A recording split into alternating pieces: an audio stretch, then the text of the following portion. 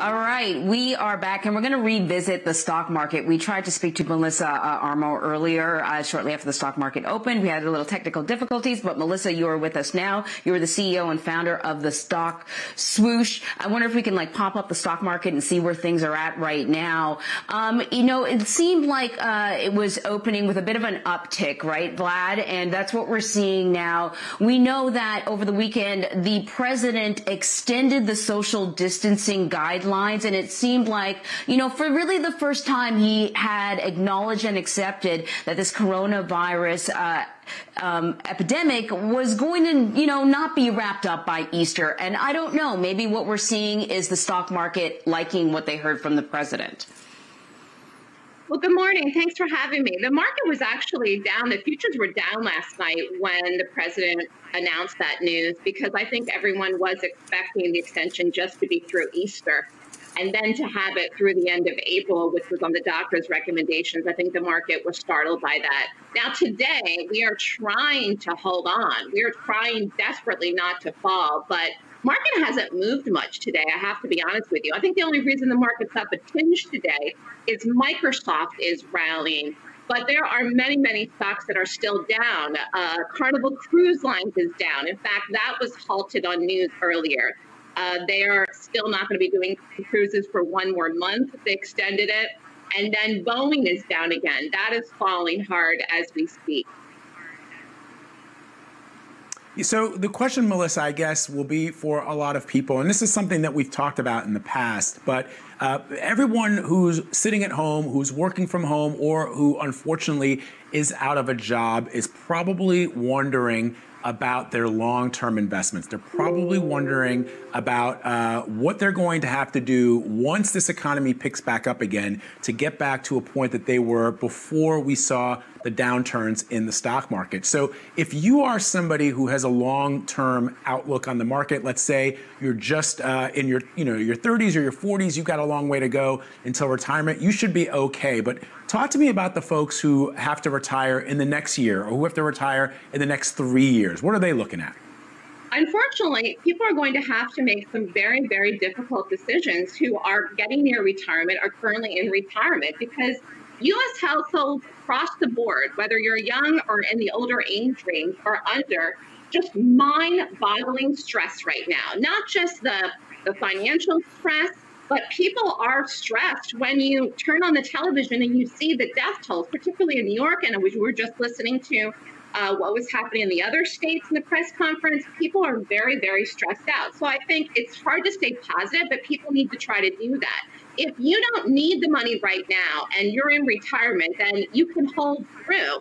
If you've got three years plus to, to wait it out and you can ride it out.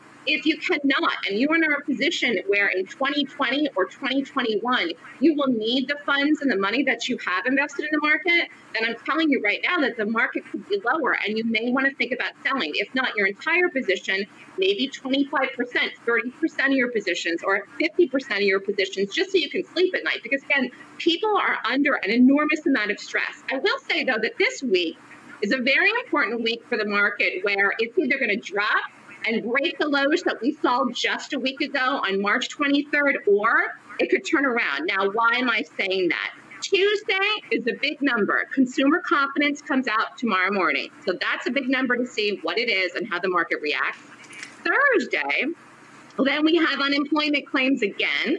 And then Friday is the big number with the unemployment rate. So the market could nosedive this week if these numbers are negative, or it could hang on. And I think best case scenario, the market hangs on, although it's very hard to be optimistic about the short term right now because as President Trump said last night, we haven't reached the peak number of cases. That's why they extended uh, the stay-at-home order for 30 more days, and we still don't have a vaccine. Now, one good stock here I'm seeing today is J&J Johnson & Johnson. That stock is up. They are developing uh, a lead COVID 19 candidate for a vaccine. So that's one to watch. So let me ask you a question, Melissa. What are investors looking for to indicate, you know, any sort of positivity? I'm wondering, is it stuff that's happening domestically, like, you know, a slowing in the rate of new coronavirus cases or something the president uh, says? Or are they looking internationally? Does it have to do with the price of oil? Does it have to do with uh, the supply lines that were uh, disrupted when uh, China was at the epicenter of this whole thing? What are investors looking looking for? Well, they're looking for a whole host of things, but I think the number the number one thing that our investors would have a positive reaction to that you would see a wave of buying in the market, and not just for one day, but consistent three to five days of buying and up days, uh, is is a vaccine. And the problem is, it could take months. It could take into 2021 for that. People are not going to feel good about their investments, the future, their employment, paying their bills on time, going back to work until until one a vaccine is out there that people even if say for tomorrow there was a vaccine, then people people could go out and they could walk about the streets and feel like even if they caught it, they could take something to feel better. Right now, even if even if President Trump hadn't put the order out there, people really don't want to go out because when you when you see the death toll continue to rise, it's problematic. So I don't think it's so much other countries. I think it's what's happening right now in the U.S. and particularly in New York. You're seeing the rises in Michigan. You're seeing the rises in cases until we see a drop off, which won't be till the peak is hit and then it goes down, where you see less people having it, less deaths.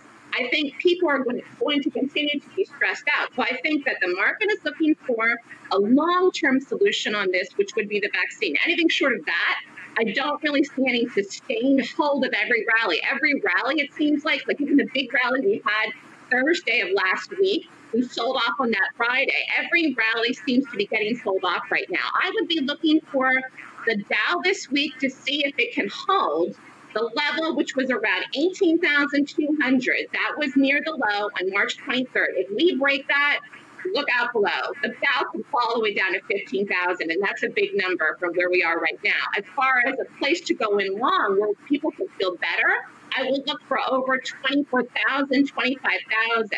And so we're right in that midway point, actually, right now, here today, around 21,900. Wow, 15,000 right, Dow. Uh, that that would things. be Yeah, I, I, was just saying, Anne-Marie, that that would be something uh, if, mm-hmm. if we if we got down to that point uh, 15,000 uh, Dow. And Melissa, if you're still with us, and, Anne-Marie, you know, one of the things that I keep thinking about as well, and that's why I, I, I, like having these discussions around some of the practical applications of what we're seeing happening across the economy. Um, I keep thinking about the number of Americans who have credit card debt, you guys, and there's a new number out uh, from creditcards.com that finds that 59% of credit card holders, that's 110 million Americans entered the coronavirus pandemic and the subsequent slowdown of the stock market with credit card debt. So if you're out of a job right now or you are, you have no money coming in, you're going to be stuck with that debt. And it's not clear. I, I haven't seen any research yet on what the credit card companies are going to do or what they're willing to do uh, for people right who find themselves stuck. They're going to do nothing. I would be shocked. I would fall off my chair right here if they do anything for that. Honest to God credit card companies, I don't see them putting a stay on people for 30 days not making their payments. No way, no how. I would be utterly shocked if that happens. So, I mean, people should not look for that to happen. And that's the problem. Remember, we had that conversation last week. You're going to see defaults. You're going to see people default in mortgages, in car loans, and in credit cards. And that is where it's problematic for the average consumer. That is the stress that I was talking about. People are stressed out. So when that happens, guess what? People don't want to spend more money because if they already have debt currently, they're not going to want to spend any more if they're worried that they're not going to be able to keep up with the debt. It's unfortunate that, that the banks have to make money too. Do you understand? So they make money on fees, they make money on interest rates, and even though interest rates have plummeted for mortgages, interest rates on credit cards are still sky high. And that is really unfortunate. I'm looking at Visa right now, to be honest with you. The stock's rallying. Visa's rallying. So I don't think they're going to do anything. And it's, it's, it's, it's tough to say that I really don't think I, I would just I would just absolutely fall off my chair if, the credit card company came out saying you don't have to worry about making your payments think, for, mm. for 30 days. I think that those are both really good points, Vlad. The other thing that I was sort of thinking about when you talk about, you know, once we turn the corner with this and we kind of restart the economy, and if people are getting their mortgage payments suspended or their rents uh, suspended for the period of time, does that still have an impact on their credit ratings? Like, are we all going to sort of emerge from this now with, you know, credit scores that are, you know, in the tank and then have not having the ability to borrow or, or do anything that would kind of like restart this economy? Well, that the banks, the, there was one bank that came out and said that they were going to add the period onto the end of the loan. So therefore, it would not impact their credit. In other words, they weren't going to report them late.